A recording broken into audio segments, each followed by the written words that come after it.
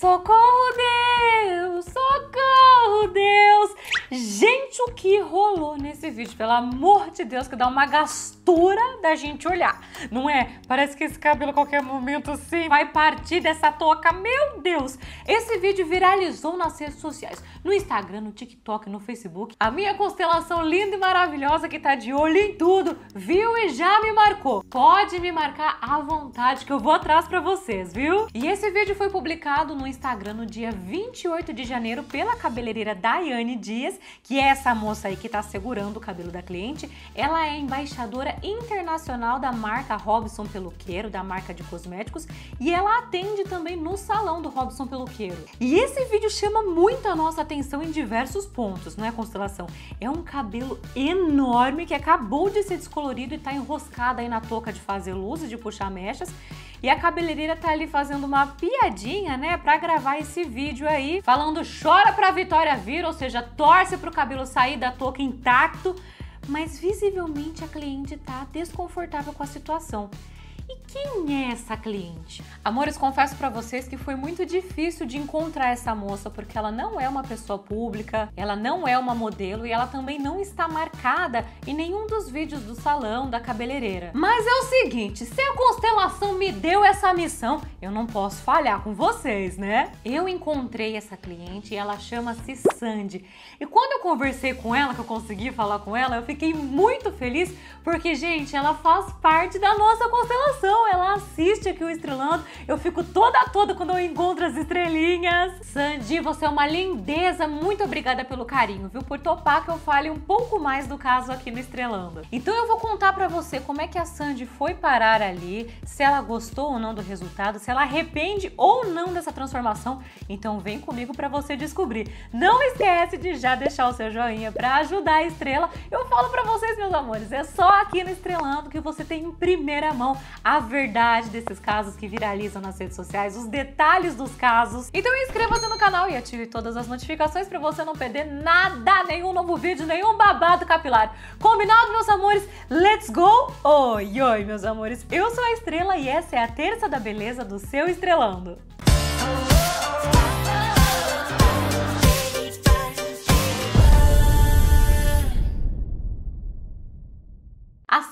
Jovem que mora no Ceará. Um grande beijo estreladaço pro Ceará. Uma coisa importante da gente saber da Sandy, sobre o perfil da Sandy, é que ela é uma moça mais reservada. Ela tem uma conta privada no Instagram, não tem outras redes sociais. Então, Estrela, como é que ela foi parar num vídeo desse, num vídeo viral de cabelo? Vamos entender e vamos começar olhando um pouco mais do cabelo dela antes da transformação. Olhem esse cabelo enorme e lindo! Palmas pro cabelo da Sandy, faz favor.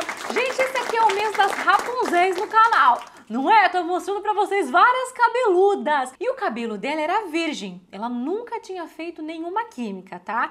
Então ela tem um cabelo cheio, denso da raiz até as pontas, é um cabelo liso, castanho claro. Ela sempre teve cabelos compridos também, tá? Ela gosta muito de cabelo grande. E esse é um cabelo que, apesar de enorme, com os cuidados básicos, ela conseguia manter belíssima assim da raiz até as pontas. Porque não tinha química, se ela faz um tratamento vez ou outra, ele foi respondendo. Não, senhor, pode voltar, pode voltar que o bichinho do louro não vai entrar na nossa história hoje. Não foi bem assim que aconteceu. Não é que o bichinho do louro foi lá e picou. Não foi a Sandy que procurou o salão do Robson Peluqueiro. Um parênteses aqui, meus amores. O cabeleireiro e empresário Robson Peluqueiro, ele é muito famoso, ele tem uma marca muito conhecida, principalmente nos salões de beleza, por apresentar produtos, por ter produtos de alta tecnologia. Então são produtos para reconstrução, tem o famoso CCRP, que é o cronograma capilar Robson Peluqueiro, que muita gente ama, muito cabeleireiro usa. Muita gente quer fazer uma transformação no salão dele. E a história da Sandy com o salão é a seguinte: a Sandy trabalha no caixa de uma barraca de coco numa das melhores paradas entre as maiores praias do Ceará. Então, é um ponto turístico bem movimentado, passa muita gente por lá e passaram também os cabeleireiros. O Robson, que viram o cabelo da Sandy, assim, pessoalmente, se encantaram pelo cabelo dela e a abordaram. Então, olhem essa informação que eu peguei aqui para vocês. É uma coisa que só você que assiste esse vídeo vai saber. Quando eles abordaram a Sandy, eles perguntaram primeiro se ela venderia o cabelo, se ela vende o cabelo, e ela disse que não. Como eu disse para vocês, que ela tem paixão pelo cabelo longo. E foi aí que eles perguntaram então se ela teria coragem ou se ela tinha vontade de ficar loira. Ela respondeu que talvez, nem sim, nem não. Então eles pegaram o número de telefone dela e depois entraram em contato para oferecer a transformação no salão. A princípio a Sandy me disse que ficou em dúvida.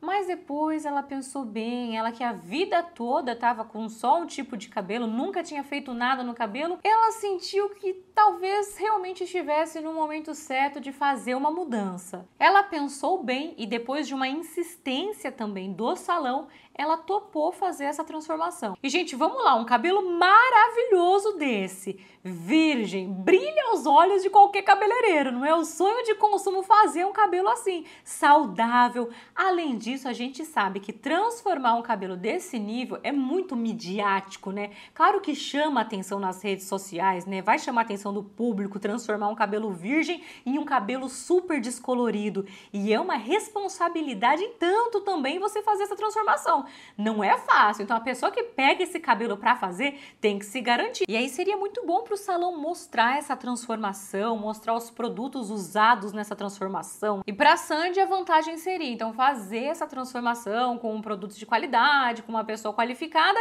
e não pagar por isso, né? Mas entregar o seu cabelo, que é um tipo de pagamento aí nesse caso, né? Porque ela não estava procurando naquele momento ficar loura mas ela aceitou a proposta.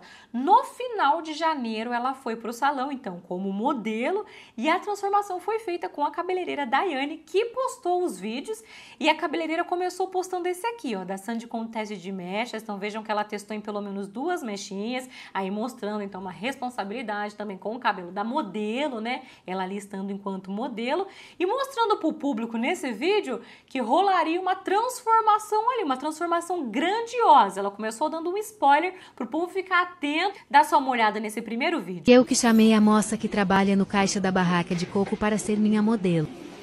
E aí o pessoal já começou a arriscar os palpites nos comentários. O que é que seria feito nessa cabeleira toda? Será que viria uma descoloração global, meus amores? Global? Ou será que seria uma morena iluminada, hein? Com um contorno, porque inclusive a cabeleireira Daiane, ela é especialista em contorno. Olhem, só olhando esse vídeo aqui, o que, que eu apostaria? Uma morena iluminada, ela já tem um cabelo castanho claro e como ela trabalha assim nessa região de praia também, a gente vê que tem umas mechinhas mais claras queimadas do sol, que a gente já imagina como é que ficaria o cabelo dela todo iluminado, de repente num ombre hair, com um tonzinho mais fechado, um chocolate ou até mesmo um caramelo. Pensa esse cabelão assim. Ou até mesmo um loiro, gente. Também cabe um loiro aqui. Um loiro dourado, já imaginou? No ombre hair. Um loiro com um jogo de luz e sombra para iluminar ainda mais o rosto e o visual dela. Só que o perfil da cabeleireira é de fazer loiros claríssimos, global, meus amores, tá? Porque as clientes dela a procuram para esse tipo de loiro, ela já é referência em loiros claríssimos. E eu perguntei a Sandy se ela teve uma conversa com a cabeleireira do que seria feito no cabelo dela, de que tipo de loiro, de qual tom de loiro seria, e ela me respondeu que não exatamente. Quando ela chegou no salão, eles ofereceram mais uma vez a ela deixar o cabelo curto, eles queriam que ela fizesse um cabelo Chanel.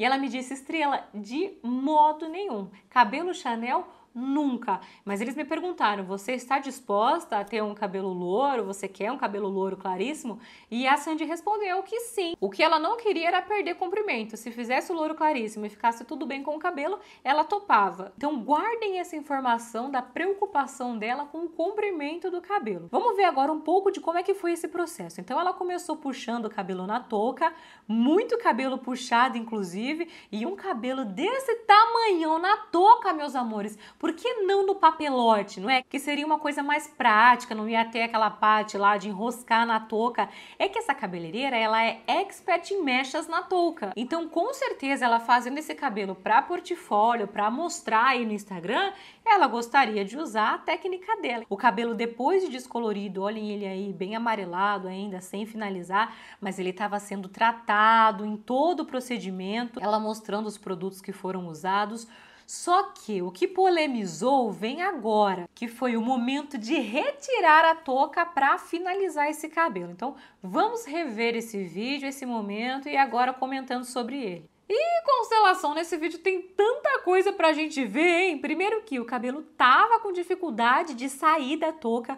Um cabelo bem longo na touca, corre-se esse risco mesmo. Então enroscou. O cabelo descolorido também, que já tá frágil, né? Embaraça com mais facilidade, desse tamanho todo, embolou. E nessa hora aqui, gente, independente do tamanho do cabelo, é uma hora delicada, é um momento delicado e muito importante que você tenha delicadeza. Se você for tirar de qualquer jeito, o cabelo pode ficar ali na touca mesmo, partir, né? Ter o corte químico ali, com o cabelo elástico, de repente com o cabelo frágil.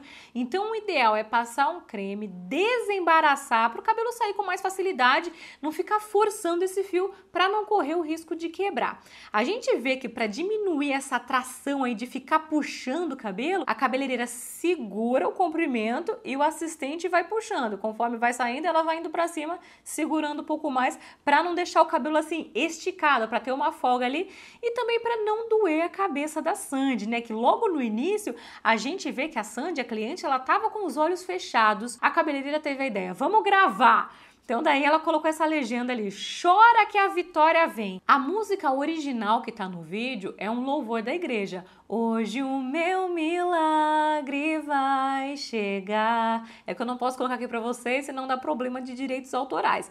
Mas então essa foi uma brincadeira da cabeleireira, né? Porque o cabelo não estava saindo e outros profissionais, outras cabeleireiras já devem ter tido esse problema. Então ela foi fazer essa piadinha, mas foi uma brincadeira que acabou pegando mal que não foi de bom tom, porque ninguém quer ir ao salão e torcer para o cabelo sair da touca intacto, né? Você esperar ali um milagre para sair o seu cabelo da touca. Então, quando a cabeleireira faz aí uma força, como se tivesse se pendurando no cabelo, as pessoas não gostaram. Tem muitos comentários das pessoas dizendo: "Ah, eu não gostaria que fizesse isso com o meu cabelo". E diante desse cenário todo, se a gente olhar para Sandy, ela estava desconfortável e preocupada com o cabelo. Ela tá assim aí, ó, olhando pela tela do celular, né? Ela tá fazendo uma cara assim, tipo, o que está acontecendo aqui com o meu cabelo? Será que está saindo? Será que está dando certo? Então ela tá com uma expressão de assustada, porque, gente, vamos lá. Por mais que ela confiasse sim na cabeleireira, ela estava confiando, ela topou fazer a transformação, mas ainda assim foi a primeira vez que ela mexeu no cabelo, a primeira vez que ela fez química no cabelo. Então ela estava até pensando: será que é assim mesmo? Será que é assim que funciona? Olha, desde o processo de separar as mechinhas na touca lá, já é uma coisa dolorida, né? Ainda mais para quem tem um couro cabeludo sensível. E aí nessa parte aí que ela já tava com um couro cabeludo então mais sensibilizado, porque foram puxadas muitas mechas também, né? E dói ficar puxando assim o cabelo. E ela que sempre foi muito apegada ao comprimento do cabelo e o medo, gente, o medo de dar ruim. É um momento tenso, o um momento de tirar o cabelo da touca. E aqui a Sandy tava como modelo, mas ela não é modelo. Ela não trabalha com isso, ela não foi modelo de cabelo outras vezes para fazer o carão e tal. Então ela tava tímida também. E eu acho que esse vídeo também deu certo, assim, a questão de likes e visualizações, porque a Sandy não tava atuando, né? As reações dela chamou a atenção do público porque as pessoas viram sinceridade. A cabeleireira, inclusive, ela repetiu esse tipo de vídeo com outras clientes depois que ela viu que esse vídeo deu certo. Só que daí as outras clientes estavam atuando, né? Mostrando uma insatisfação assim no rosto, tipo, ai meu Deus, será que meu cabelo vai sair intacto da touca? depois ela mostra o resultado, dizendo que o cabelo ficou tudo bem, mas o vídeo não viralizou como esse aqui. E a Sandy, a primeira vez que ela mexeu no cabelo, já radicalizou, né? Porque descoloriu, acredito que 90% do cabelo para chegar num ouro claríssimo de perolado a platinado. Nos comentários desse vídeo, muita gente disse: olha, se fosse o meu cabelo, eu teria pedido para parar esse vídeo, não deixaria gravar. Mas de qualquer maneira, gente, ela estava ali enquanto modelo, não é? E modelo assina termo de autorização de imagem. Então não é simplesmente assim levantar e sair e dizer para a gravação. Quem aceita ser modelo, gente, de cabelo, entrega o cabelo mesmo, viu? A gente já viu vários casos aqui no canal, inclusive.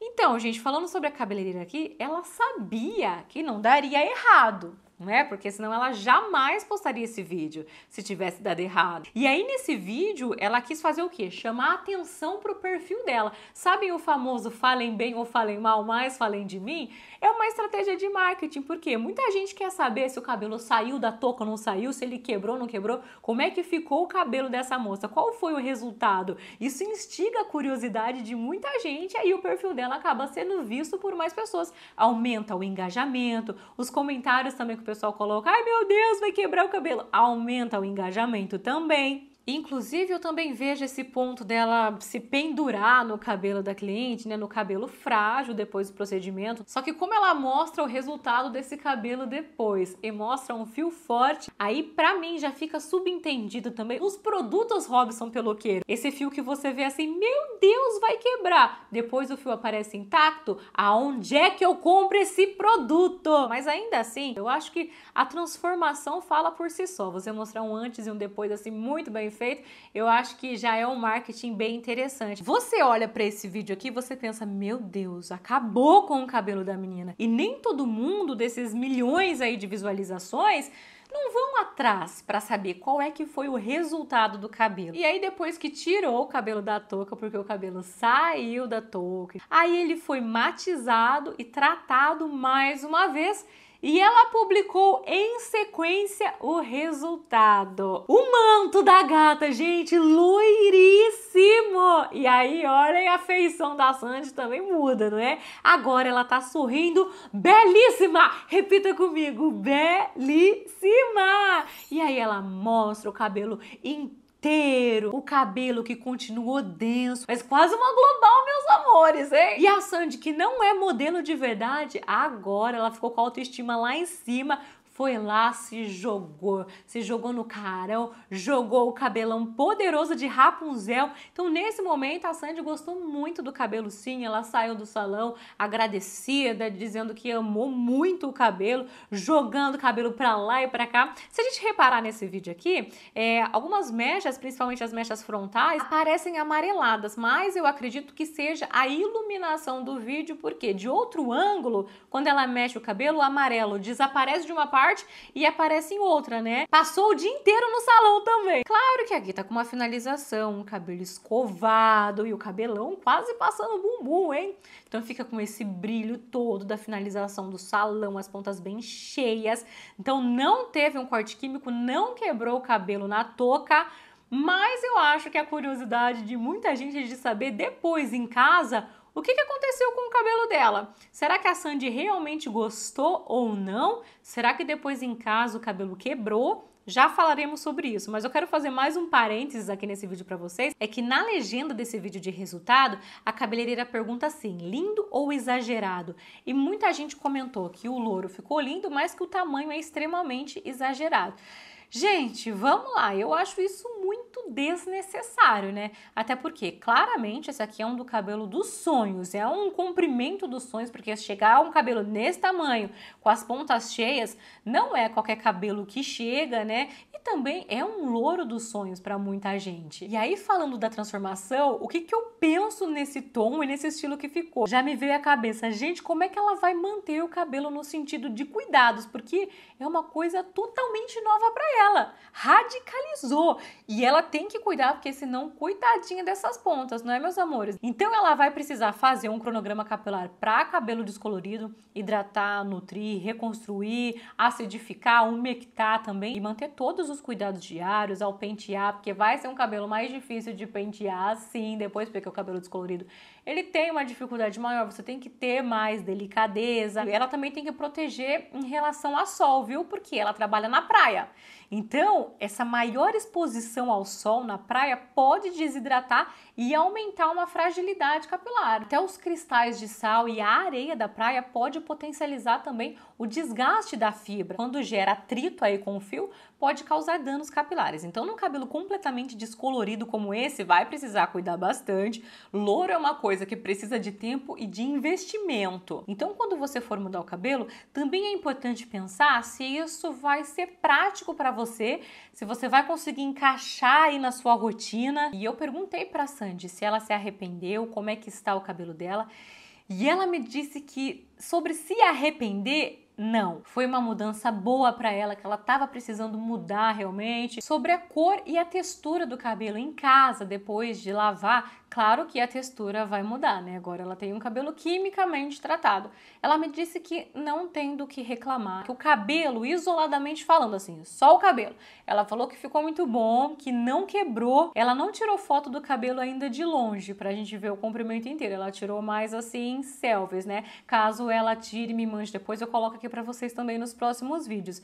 Só que uma coisa que ela acha que não vai manter esse tipo de louro, porque ela tá com a raiz bem clara então quase todo o cabelo dela foi descolorido.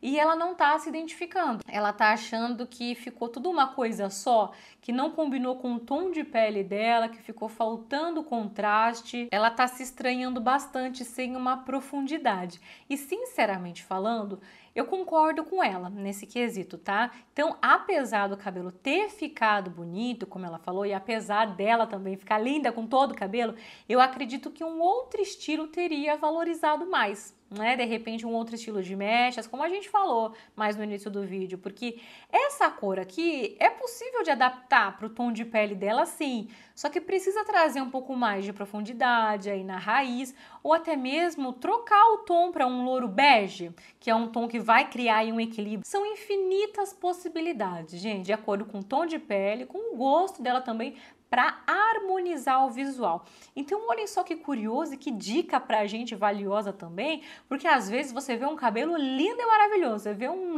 um louro assim dos sonhos. Nossa, você viu esse louro aqui brilhante, essa cor, você fala, nossa, eu quero esse cabelo, perfeito esse cabelo. Só que em você pode não valorizar tanto a sua beleza por questões de coloração pessoal. Não é simplesmente fazer o louro claríssimo mais lindo e não combinar com você. E quando a gente fala não combinar, às vezes não é só pela coloração pessoal, por essa parte estética, mas também pela identidade. Por exemplo, a Sandy não se identifica com uma cor tão clara assim desde a raiz. Mas no fim das contas, meus amores, eu fico feliz em saber que agora é mais questão de adaptar o cabelo ao gosto da Sandy, não é?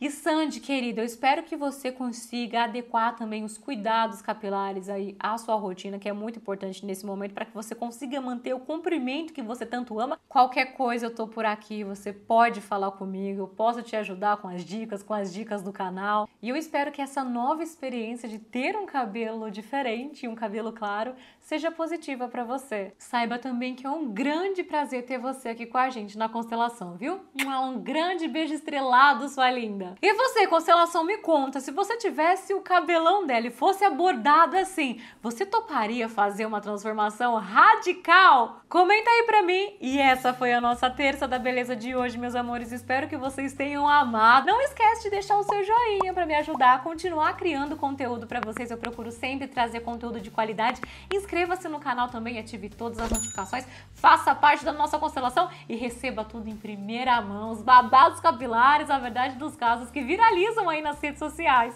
Além de muita dica, análise de cabelos de famosos, histórias reais dos inscritos do canal também, viu? Também tô falando mais pra vocês do meu cabelito. O que vocês acharam do meu penteado? Amo vocês de paixão, um grande beijo estrelado no seu coração. Fica com Deus e até a próxima, meus amores. Tchau, tchau!